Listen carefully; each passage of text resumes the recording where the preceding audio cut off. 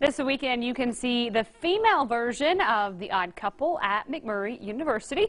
Here to tell us more is David Ainsworth, Haley Isbell, and Holly Benty. Thank you, all three of you, for joining us today. So, David, you're directing this show. Yes. Tell us about the story of The Odd Couple. Well, in the mid-1980s, Neil Simon decided to increase his cash flow by adapting one of his biggest successes, and he knew that the original Odd Couple, the mismatch of the neat and sloppy guy who become roommates. He knew that was one of his biggest moneymakers royalty-wise, but he also suspected that he wasn't making as much money as he could off the royalties in amateur venues because the original Odd Couple has six men and two women in the mm -hmm. cast, and most amateur venues have more women than men. So he rewrote it telling exactly the same story but changing all the details so that Felix and Oscar become Florence and Olive, the four poker playing buddies become four trivial pursuit mm-hmm. playing mm -hmm. gal pals, and the British pigeon sisters from upstairs become the Spanish Costazuela brothers. Otherwise, it's the same story.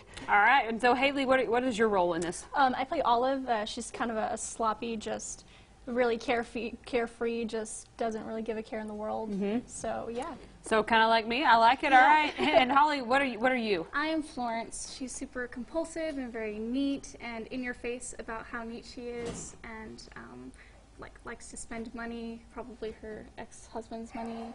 Um, okay. Yeah. and so, what what are what about these roles do you guys like?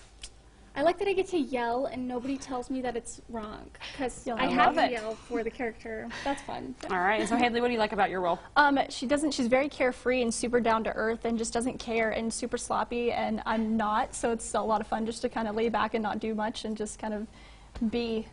So it's a lot of fun. All right. And so, David, what made you want to do this female version of the show? Well, the McMurry Centennial theme this year is McMurry Creates and we decided to structure the entire fall season around unique creations that have become American cultural icons mm -hmm. in mm-hmm. some way. And of course, the homecoming musical, You're a Good Man, Charlie Brown, centered around the iconic Peanuts cartoon strip. And the odd couple, what, be they male or female, have become such American icons as characters that we figured that fit right in, so much so that some critics have called the Odd Couple, the great American comedy, because of those two iconic mm -hmm. characters. And it's the same sort of icon, whether they're male or female personages. All right. And so, how many people are in this show for you? Eight. Eight? Hmm. All female? No. Uh, six women, two men. Okay, six women and two men. All right, when can we see this show? Uh, Thursday, Friday, Saturday, and Sunday. All right. right? Uh, Thursday, Friday, and Saturday evening performances, Sunday matinee. All right, and girls, tell us really quickly what your majors are.